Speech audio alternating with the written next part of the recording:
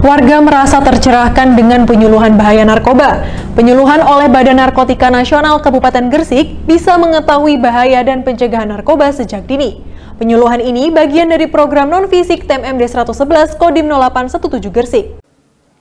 Selama ini warga desa Siwalan, Kecamatan Panceng Gresik belum pernah mendapatkan penyuluhan bahaya narkoba.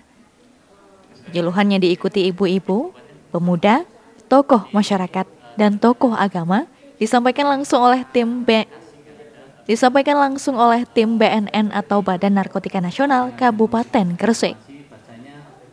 Bahkan, penyuluhan yang berlangsung selama dua jam masih terasa kurang karena warga mendapatkan pengetahuan baru seputar bahaya narkoba menurut saya itu sudah bagus sebagai langkah awal untuk uh, tindak lanjut di desa. Dari kami mungkin kami memang berharap bahwa suatu saat dari program BNE ini ada program tersendiri untuk yang di tingkat desa.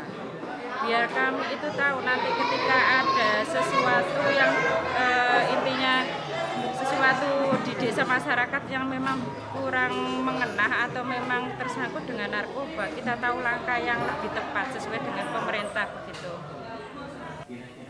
Warga berharap penyuluhan bahaya narkoba tidak hanya sekali saja. Perlu ada program lanjutan tentang penanganan dan terapi orang yang sudah terpapar narkoba.